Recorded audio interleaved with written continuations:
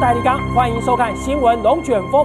南海的议题，在我们中华民国而言呢，其实我们总是缺那么一席。为什么呢？因为各个国家都在争夺之下，我们呢却只有在旁边观看。但是呢，在这样的争夺之下呢，你如果不跟人家争夺，你就没有任何的机会。来看看三张图，第一张图是什么呢？看看啊，从黄海出来的一个庞然大物，这是什么呢？是航空母舰吗？还是什么样的船舶呢？这样的船舶已经到了南海嘞。看看中国大陆把这样这么大的巨大的船只已经拖到南海了，这意味着什么意思呢？这意味着当然就是南海的主权了。看看这架飞机很特别吧？这架飞机现在也在南海上空开始巡弋了，要抢夺的是什么岛屿？那这架飞机是谁的呢？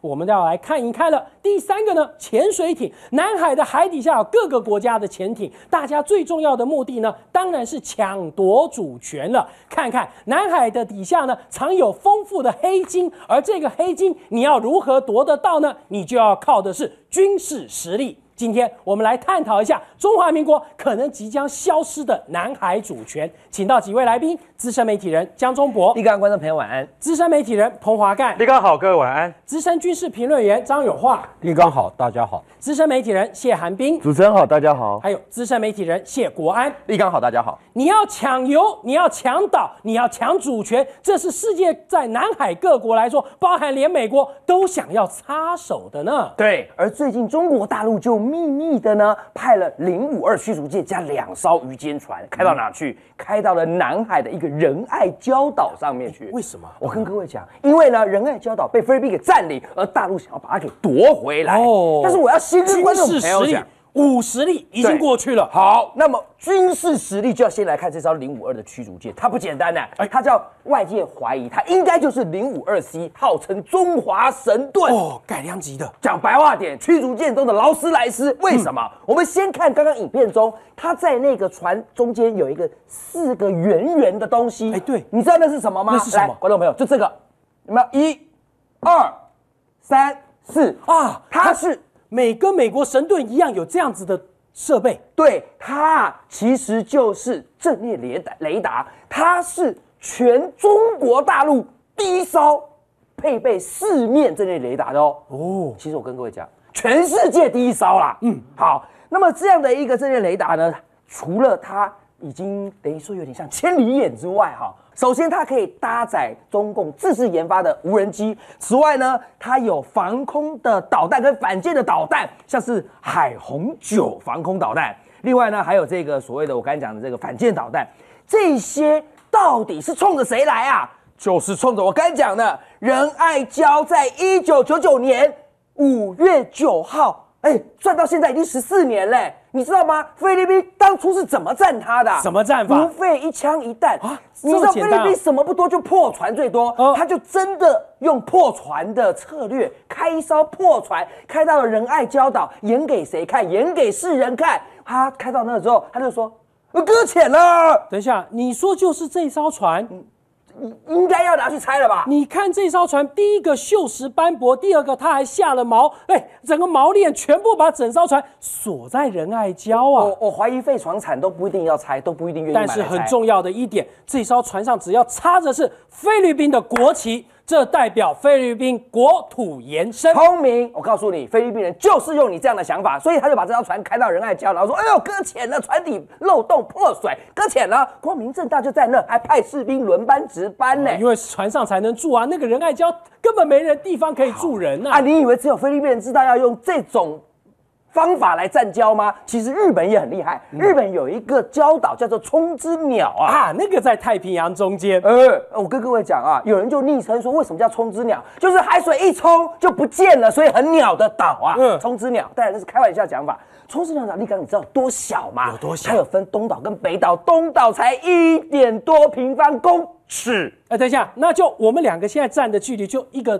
东岛这么大，就很大的一个抛光石英砖，就我们家子就是一个岛啊。北岛才六点多平方公尺，六点多，那我两个再站远一点点，这样子六点多而已啊。所以一旦海水满潮，嘣嘣嘣不见了，只露出一两块的这个所谓的岩石。好了，日本人多聪明，你看那个就是那个岛，刚刚那个。你看从如果从卫星照来看，你竟然还点得出来哦！哇，这动画你也太点的太勉强了吧？其实根本跨博啦。嗯但是日本人很聪明，我就把它变大、变大、变大。怎么变大？他就哦把那个呃岛上面的那个珊瑚拿到了流那个拿到冲绳的阿加岛去培育，那培育好之后呢，再截肢，再丢回去。这个冲之鸟岛，哎，冲之鸟岛不就开始有很多的珊瑚礁了吗？对不对？哦哦就变大了，慢慢把它浮上水面，是不是？不聪明！到了二零零九年，你现在已经有五万多株的珊瑚礁在那边，你知道吗？多聪明！日本人就直接向联合国申请大陆棚的延伸，嘿，莫名其妙多出了上千公里的海权呐、但是你要知道一件事情哦，日本在上面设了一个气象观测站，站上面插了一个日本国旗，方圆两百海里都是我的经济海域。看看是不是很聪明？好聪明啊我跟各位讲，那么呢，为什么大家都要抢岛？为什么呢？因为抢岛、抢油、抢主权嘛，是不是？海底下资源可就是我一手掌控那大啦。陆人现在怎么办呢、抢岛。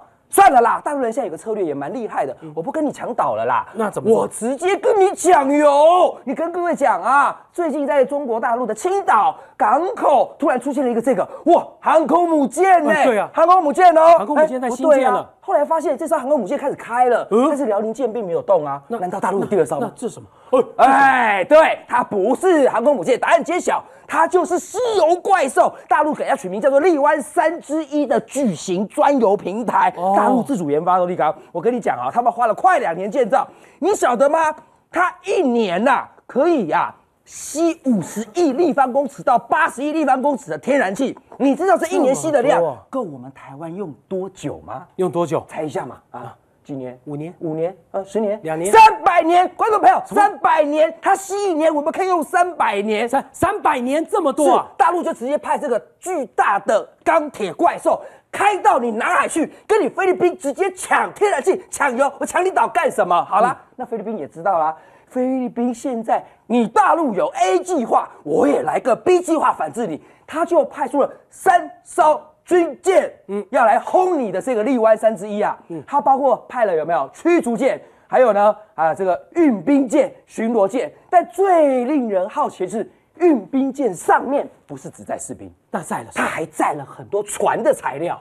载船材料？为什么吗？为什么？因为哎，菲律宾的想法就是我啊要上去把仁爱礁的那艘船给修好了。哦因为那艘船现在呢一直在漏水，就一直往下沉嘛。嗯修好不是要修到它可以开，是要修到它不会往下沉。哦但是菲律宾打算一不做二不休，就是我不但要让船舰无法往下沉，我还打算在仁爱礁岛上面盖一个碉堡。哦，那就是有就是军事设施喽。，对，因为碉堡盖了就可以有军事防御工事，我就可以上面架机枪，有谁靠近我就拿你机枪扫射你。好，我现在讲的，不管是中国大陆还是日本还是菲律宾，他们都在玩海面上的军备竞赛。但你刚我告诉你，海面下的潜舰那才精彩。海面下的潜舰怎么样的精彩法呢？看看周遭几个国家，中国大陆、越南、菲律宾，他们呢现在在海底下开始了摸东摸西的。为什么？因为水底下潜水艇已经开始在四处游走了。但是还有一个国家一定要来参一咖，那个国家呢，可就是美国啊。现在整个南海地区，我帮各位算过的，那有几艘潜舰活动？大家猜猜看。嗯，三十一艘。等一下，这么一个南海里面有三十一艘潜水艇啊。，对，嗯，三十一艘潜舰的活动，而其中主要的是四个国家。第一个国家，各位可以看，懂 Kilo，越南现在还要向俄罗斯去买基洛级潜舰。那第二个国家，各位可以看看是什么？海南岛，哦，中国大陆的中国大陆三亚基地啊出来的三亚基地，还有一个叫做陵水基地。陵水基地它有三十二支队，三十二支队，一个是传统动力的潜舰，另外一个是核子动力潜舰，另外一个国家是哪一个国家？哎，菲律宾啊，苏比克湾。但是菲律宾有，潜艇啊。美国的哦，用的是美国潜艇，所以美国潜艇是进到他以前的海军基地苏比克湾停靠。对，还有一个国家我们忽略了，因为它太远，我们看不到。这是哪一个国家？日本。日本，所以日本的潜水艇也来凑一咖了。对，日嗯这四个国家已经把整个的南海全部都包围住了，而这个地方它也是全球最危险的地方。如果各位理解到哈，各位理解到一件事实，你就可以了解了。南海局势为什么那么复杂？就是整个南海大概水深八百公尺，那一般的潜舰，好，一般的潜舰大概可以潜航三十三百公尺，潜航四十五天以上。我以 kilo 级为一个标杆。那现在中国大陆为什么？中国大陆也好，美国也好，越南也好，他为什么要把潜舰部署在南海地区？各位有没有考量过？谁距离南海最近？当然，中国大陆。中国大陆啊！中国大陆从三亚跟陵水两个基地这样子出来的时候，潜舰一天就可以到达东盟九国了。那请问美国要几天？嗯，美国啊，八九天跑不掉。美国跟日本最近从横须贺下来三天。嗯，好。然后呢，他要从夏威夷过来要七天，从圣地亚哥过来要九天。所以整个南海，它为什么潜舰密度它会那么高？就是大家的观念就是说，我水面舰队我打不过你美国，我用航母杀手，潜舰我可以进行封锁，我潜舰我也可以进行攻击。况且这种水下的利器，那当然中国大陆今天已经变成了潜舰大国。过去中国大陆有一百二十多艘潜舰。现在中国大陆的潜舰大概只有九十多艘啊，数量反而少了。数量少，它主要的目的是说我要发展水下的战力。所以中国大陆最近十年，各位有没有发现，它从前是 R 级跟 W 级这样子用了将近六十年，那现在它十年以内，它发展出什么民级、原级、宋级，还有晋级，还有商级。就是五种类型的潜舰，所以越南看了这他就紧张了，嗯，美国看了他也紧张，所以美那个越南总理阮晋勇他访问俄罗斯，他是说我要买 kilo 级潜舰，叫做八七七级，八七七级，所以他还要去买这六艘，他也希望成立两个潜舰支队。那越南的动作频频，那现在中国大陆他也开始不客气。他不客气的，除了中国大陆，他在建造他的潜舰基地。现在老美他为什么要把洛杉矶即放在苏比克湾？非常简单，就是说我也希望以前之前。那以前之前，它主要的目的，除了军事上，各位想想看，还有什么目的？两个目的，一个是二十一世纪的能源安全的问题，第二个是交通航道的问那个问题。如果中国大陆它只要部署十二艘潜舰放在四个伏击区的话，美国航空母舰进都进不来，动弹不得。对，好，那第二个就是南海能源的问题。我上次给各位展那个展示过了一个太平岛，这个太平岛的上方是个油源区，下方是个油源区，我们就可以不用浮动油价啊等等。所以我们看现在美国也好。中国大陆也好，越南也好，菲律宾也好，日本也好，哎，台湾也有潜舰啊，嗯，大概只有两艘能出去吧。台湾两艘没有关系，但是到游游园地区，台湾两个小时到达。嗯，只要部署在太平岛的下方，我说过了，太平岛是过去日本是什么潜舰自杀基地，啊，潜舰它之所以。要做自杀性的攻击，因为它的水深刚刚好，它在岛桥下面，所以潜舰在下面走的时候，不像哈，不像海南岛是人工基地，人工基地，人工基地，但是我们的太平岛是天然基地，我们也摆个两艘的话，坦白来讲，你可以左打菲律宾，好，东打菲律宾，西打越南，因为。他们的目的是游园，那我只要部署在这个地方的话，那他们呢，也没有能力跟台湾在争夺这种资源，所以台湾必须也要发展潜舰战力，至少潜舰战力，你的能源确保，你的交通航道确保的时候，台湾才有自己的未来。看看现在的南海，海底下有三十一艘潜水艇，几个国家争相掠夺的，当然就是海权加上了岛屿，因为最重要的可就是大家所要共同争夺的石油了。但是这个黑金要争夺到，你得靠双手，你得靠拳头呢。我们台湾如果不去征求的话呢，最后呢，你不争夺，什么东西都不会是你的。但是呢，这么多的潜水艇在底下，那要如何做成一个三 D 的作战方式呢？许许多国家，包含了美国、菲律宾还有印度，现在这时候啊，开始买反潜机，增强反潜机了。最新的反潜机也出炉了，因为最重要的是呢，就要锁住南海呀。没有错，你看大陆从巴基斯坦那个瓜达尔港一路这样过来。斯里兰卡、孟加拉、马尔蒂夫，一直到缅甸，结果把印度整个掐死在那掐。死他。这个叫什么？死亡弧线。我现在已经开始在布了，而且布的非常的积极。这个时候，印度觉得我已经快被掐到脖子了，所以我需要它。它就是谁？新的海神反潜机，叫最 P 八。哎，立刚，我们可能今年、明年就会拿到我们的 P 三 C 了，对不对？我们还在 P 三 C 哦，哎然后日本人都用几十年了。哎，对，那不能这样说嘛啊，。有总比没有好嘛。其实说实话，P 三 C 是不错的飞机啦，不过那是上一个世纪的思维。现在印度得到了美国最新交机的 P 八 I。P 八 I 有什么有它的好处功能在哪里呢？很简单，我们就讲说，P 三其实是上一个世代的主力反潜机，对不对？但是 P 三它一定要飞到多多低的地方，它大概飞飞到一千尺，然后丢鱼雷下来，丢鱼雷下来，所以说它高度要比较贴近于海平面差不，多才能侦测到海底下的动静。没错，三百差不多公尺高，那那那那个高度。那但是你下来的时候，老实讲一句，你风险变大了对，风险变大。然而人家用机炮、舰炮就可以把你打下来呢。完全正确，所以 P 八可以飞在一万五千尺的高空。什？么这么高？对，那而且几几乎几乎已经到了五千公尺的高度五了。千公尺，你这飞机 P 三 C 三百，它飞五千，五千公尺要攻潜潜水艇哦。哎，不容易哦。不容易，对不对？对所以又需要这个 MK 五四轻量化鱼雷，它特别加装了什么 GPS 套件，你知道吗？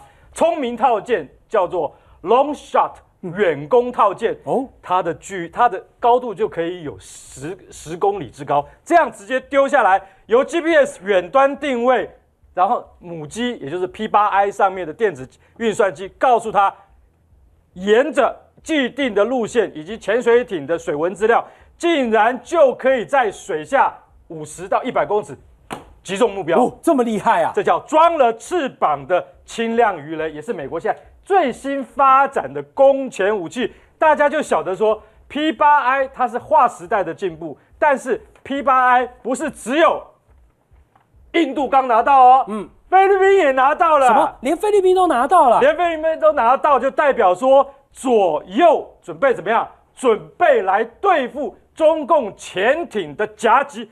美军呢已经现在先在马尼拉部署了 p 八 a P 八 A 就是我们刚刚所讲的，所讲的 P 八 I，印度的 P 八 I 会部署在哪里？加尔各答的附近，左左边有印度的 P 八 I，右边有美军的 P 八 A。好，你大陆的零九三潜艇，我们现在从头，如果你要从东海舰队这边，因为零九三是商级的核子攻击潜艇，零九四呢是在哪里呢？是在南海为基地的战略飞弹潜艇。当零九四要出来的时候。零九三要先撤位，才可以让它一起出来。到哪里？到南海干预的时候，P 八 A 升空，这边的 P 八 I 为侧应。为什么？因为他们两他们两架飞机的征收距离可以达到一千两百海里，可以互相 cover 支援呢。这么远的距离？，对，所以住在菲律宾的 P 八 A 就能跟印度 P 八 I 的资料链相结合，尤其他们又能够滞空那么久，可以，他们竟然能够滞空到十八个钟头那么久。哦，这么久。西弹的武器是 P 三的三倍，嗯，所以说他们不但能够制空，如果零九三下来撤位的时候，P 八一定先摧毁零九三潜艇，摧毁零九三潜艇之后，零九四弹道飞弹潜艇在南海基地、玉林基地就很难出来，这就是一个很大的问题。所以说，P 八 A 跟 P 八 A 组成了这个什么一个新的反死亡弧线，就可以稳稳的掐住南海舰队的咽喉。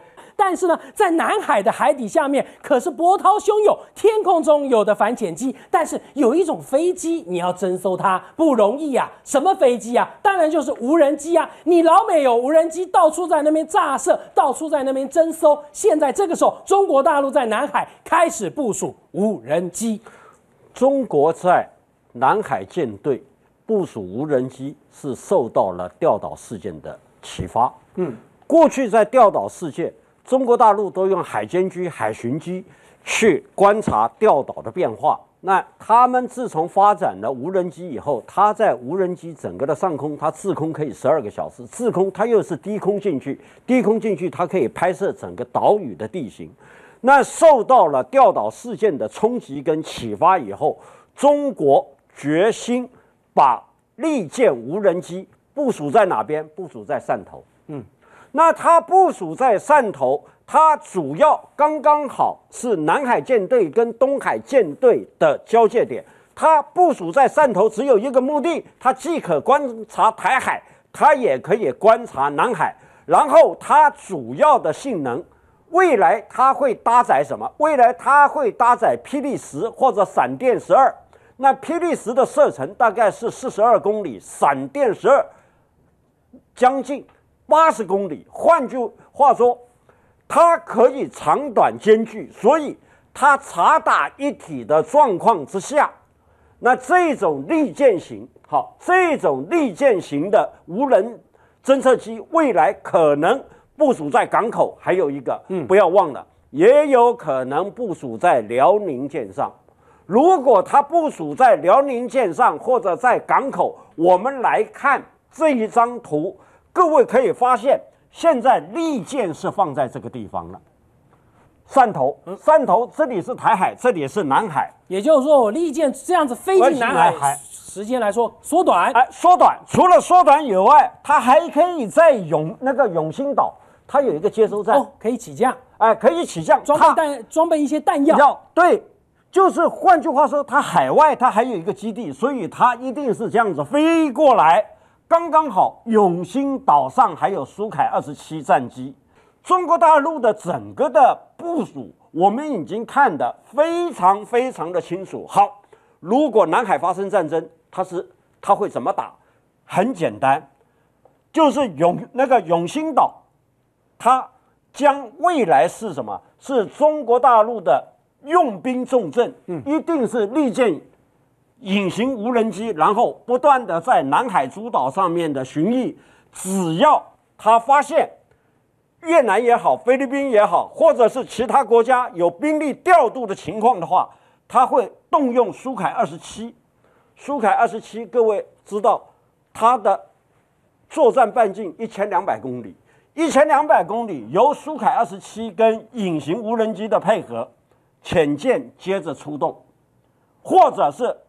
翼龙那个利剑隐形无人机，它就飞到了，再飞回去湛江，然后派翼龙无人机再进行前方观测，最后我们出动，中国大陆它一定会出动轰六 M 用巡弋飞弹去打它的震惊中心，所以我们看。中国大陆现在在整个的南海的布局，让美国感到越来越忧虑的真正的原因，因为它不只是油源的争夺，一旦让中国大陆控制了整个南海，坦白来讲，菲律宾也好，台湾也好，日本也好，美国也好，怎么办？你能源通道就马上被截断。我们以这次台飞事件来来那个说。像汕头这个地方，它可以飞到巴士海峡或者巴林塘海峡，嗯，然后侦测完的时候，苏凯二十七海航师就可以马上过来。所以，我们不要小看中国大陆在南海的企图，因为这也是关心到关关系到二十一世纪整个油源通道的安全。这也是美国为什么对中国大陆那么顾忌的关键所在。看看南海，现在在二十一世纪的时候，大家倡导的是和平，但是呢，南海底下的波涛汹涌，其中最重要的原因，当然就是为了一个东西——黑金啊，石油。可是所有国家所要争夺跟掠夺的资源呢？但是在这些武器装备上呢，背地里呢，大家互相在竞赛。你有没有看过这《飞狼》这部影集呢？它的姐妹机 OH 五十八 F 出场了，我们待会来告诉你。